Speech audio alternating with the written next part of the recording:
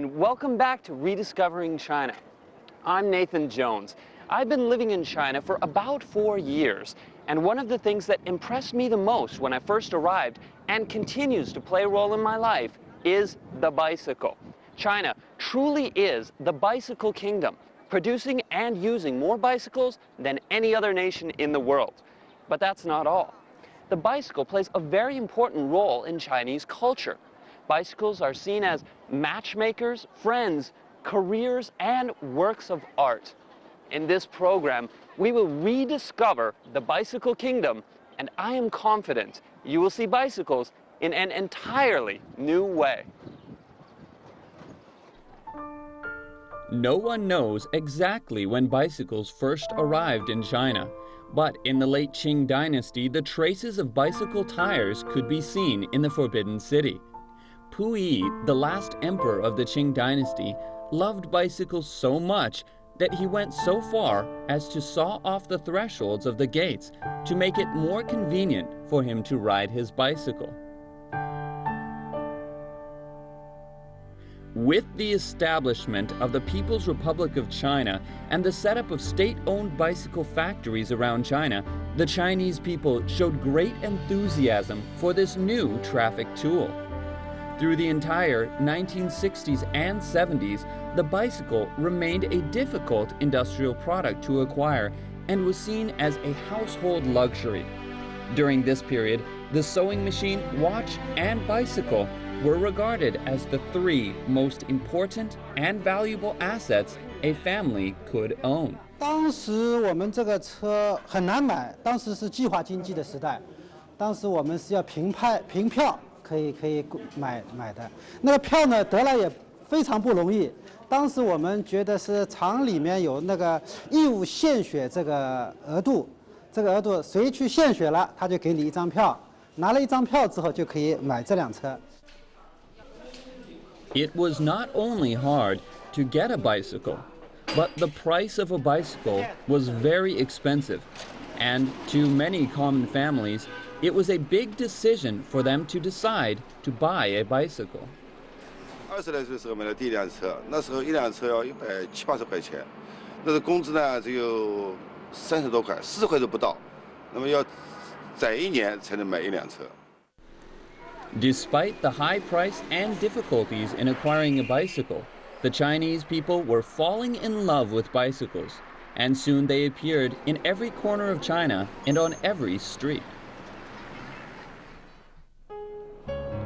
Although the bicycle was invented in Europe, it gained unprecedented prevalence and development in China in the 20th century.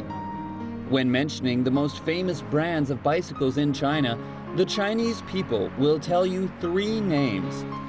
They are Flying Pigeon, Phoenix, and Forever.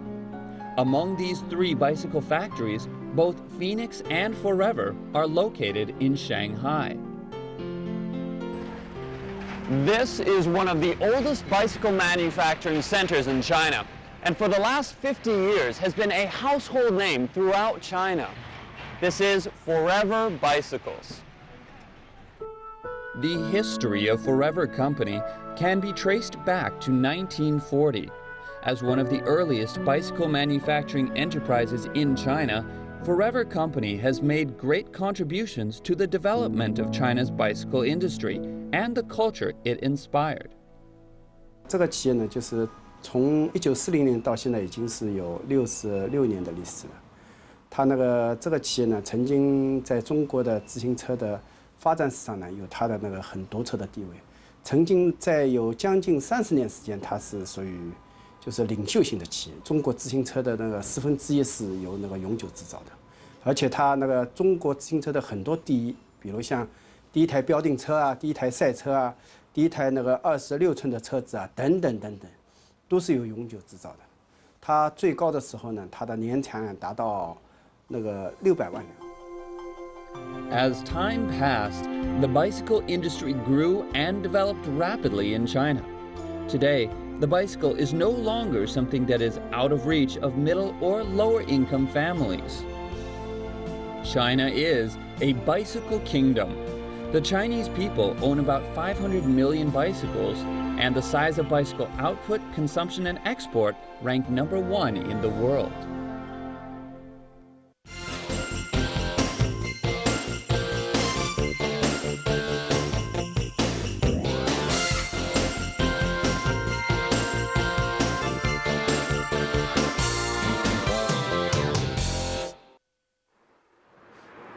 Chinese people have very special feelings for their bicycles. Almost everyone who owns a bicycle, and that's pretty much everyone, can tell you a funny, touching, or surprising story about their relationship with their bicycles. Mr. Wang Wenlan, a photo editor at China Daily, is nicknamed by his friends and coworkers photographer on the bicycle because for many years he has ridden a bicycle around the alleys and streets of different Chinese cities to take pictures. What's interesting is that bicycles are also one of the main subjects that he takes pictures of. Mr. Wang Wenlan has been taking pictures of bicycles for over 30 years. He traveled almost every corner of China to take pictures, and his photo collection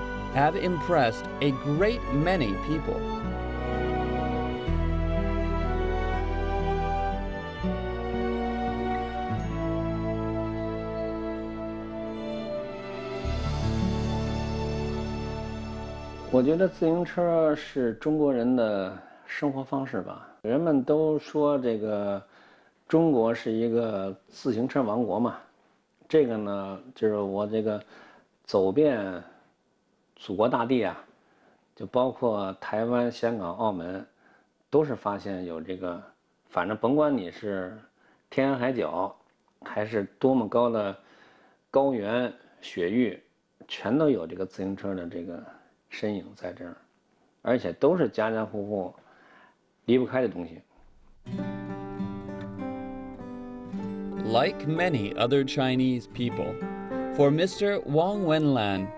His bicycle is not simply a traffic tool, but it has become, over the years, a very important part of his life.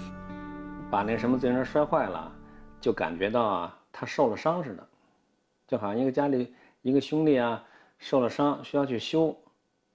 所以那个修车铺呢，这个车摊儿啊，嗯，在我眼里都是医院。把这自行车丢了呢，就就那个就那什么特别的心疼啊。 然后觉得好像是真是睡觉也睡不好啊，这个那个就真觉得就非常的别扭，就觉得是一个很大的事儿。所以这样呢，就是慢慢的就觉得这个自行车好像是有生命似的。The first picture Mr. Wang took of a bicycle was purely by chance. But as more and more bicycles found their way into his photos, he found himself making the bicycles themselves the subject of his photography.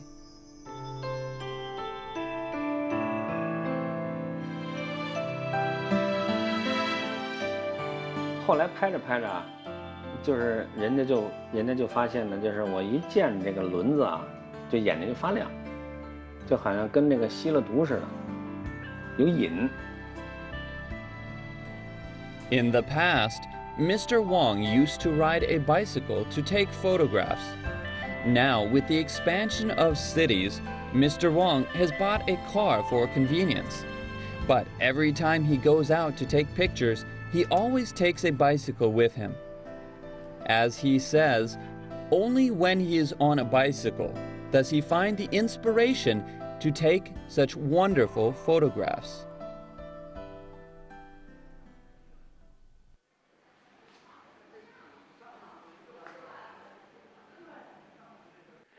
Some people love bicycles so much in their different sizes, colors, and designs that they simply can't get enough. Now, after collecting and restoring bicycles for over 50 years, Mr. Wang Mingxi has to be one of China's most passionate bicycle collectors. In this exhibition hall, there are many different types of bicycles, but they are only a part of Mr. Wang Mingxi's collection. For him, these bicycles are an indispensable part of his life. 关于受伤自行车吧，这说起来的话吧，这个东西不好理解。我从小就和自行车呢就结下了缘分。你比如说，我小时候五六岁的时候吧， 我就是拿一个车轱辘吧，就在大马路上哈，弄一个铁丝围个钩，咕噜咕噜咕噜咕噜咕噜，成天呢就放着学吧，就咕噜这个车圈玩去，是吧？等到我后来就是这个多少懂事一些了哈，就接触能蹬自行车了。那时候我还上不去呢，因为个矮那个上不去自行车，就拿掏裆骑，见着自行车就想骑。那时候骑一辆自行车啊，比现在开一辆大奔呐、比开宝马比这神奇。 From his love of riding bicycles to collecting them, Mr. Wang Mingxi has gathered more than 150 bicycles over half a century.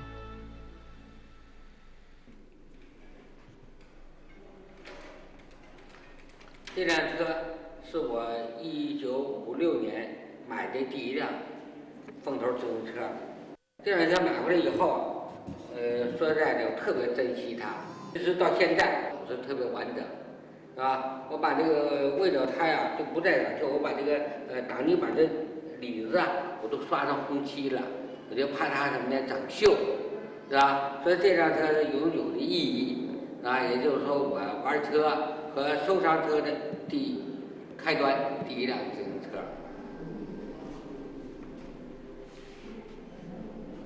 After buying his first bicycle and starting his collection, Mr. Wang Mingxi was impassioned to begin his lifelong hobby of collecting bicycles.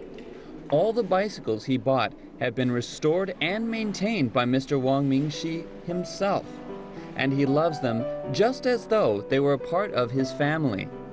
What he never expected is that his love for bicycles would bring him some troubles. 为自行车啊，每次运动我都得受冲击。五八年的时候，那么铁打的报画的漫画，我这个脑子想什么呀？讲课，那个脑子啊画着自行车，一边讲课呀，还一边想着自行车呢。 Although Wang Mingxi suffered a great deal for his bicycles, he never gave up his hobby and continued collecting bicycles. Among all his bicycles, Mr. Wong Mingxi is most proud of a Benjamin bicycle that was produced nearly 100 years ago. It is Mr. Wong's most valuable and prized bicycle. This kind of bicycle is extremely rare today and worth a great deal to collectors. At one point, an English gentleman came to Mr. Wong twice asking to purchase the bicycle. He even offered to trade a car worth 2 million yuan for the Benjamin bicycle. However, Mr. Wang Mingxi declined his offer.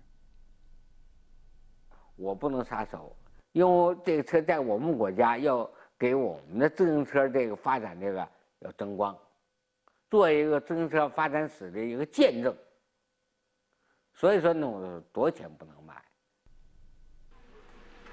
Due to the lack of funding, Mr. Wang maintains his bicycle exhibition hall in an underdeveloped suburb of Beijing.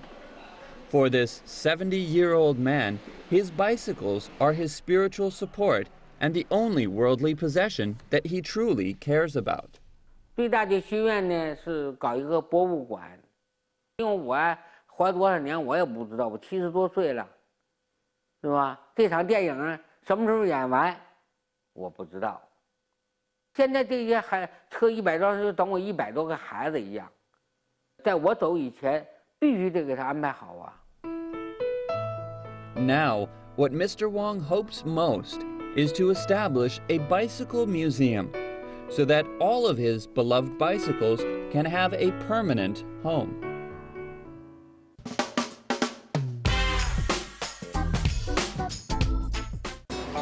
司机有落啊，唔该。 天時暑熱，唔好喺戶外玩咁耐啦噃。知道。咁熱，玩一陣就要飲水補充翻啦。大熱天時喺戶外做嘢，最好着淺色同埋通爽嘅衫，再加埋頂闊邊帽，好似我咁，仲要時不時去陰涼嘅地方唞唞啊！如果唔舒服，就快啲睇醫生啦。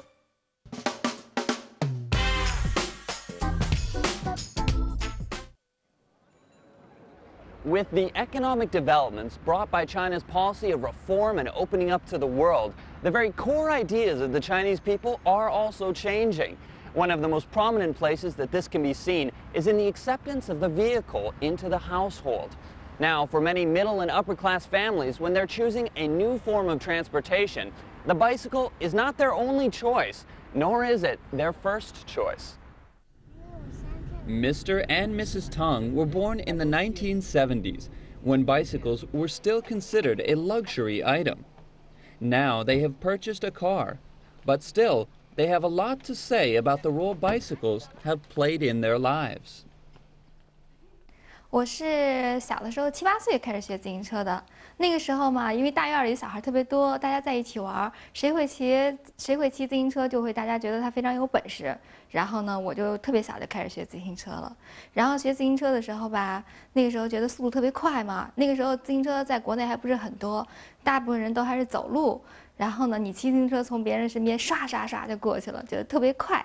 其实上小学就一直会骑车，但是呢，后来呢就一就一直是是姐姐骑剩下的车是给我了。可是当初就骑到那个学学校里，就同学好像有时候要笑话你，因为那个车是红颜色的，一个是二四的，然后就笑话你，就觉得好像你怎么会骑一个女孩子车？所以当时就觉得是就自己就迫切的想要一辆属于自。属于是自己的一辆黑颜色的一辆二六的车。八八年的时候呢，终于有了是自己的一辆车。当时我们家是住在五楼，后来买完以后啊，就天天的是就从把那车就搬到五楼上，大概搬了有好几个月，就那么一就一直是天天的搬。搬完了在家里没事做完功课就就擦，擦完了以后就觉得看着它觉得是特别舒服。For Tangxu and Han Yu, bicycles have played many roles beyond that of a simple transportation tool. In fact, it was a bicycle that brought the couple together. 我觉得那个时候的那个年轻男孩骑自行车的姿势都比较帅。 然后呢，当时呃，老唐他有一个比较自己独特的活吧，就是他会那个单手推着自行车的车座，然后手都不扶把的，只是单手推着车座，然后这车就可以很直很直的走。然后你从你要从后面看的话，就觉得哎呀，第一本事很高，第二就觉得姿势很帅。这是当时我最喜欢看的一个，觉得是最吸引我的。然后那个时候我们呃，为了那个能够更加多接触。有的时候放学的时候呢，我就故意把我的那个自行车车眉芯儿给拔了，然后我就跟他说：“我说呀，你看我的自行车没气儿了，那回家的路上怎么办呢？那只能是他带着我，我坐在他的车后面，然后呢，他空耕地面积十八点七。”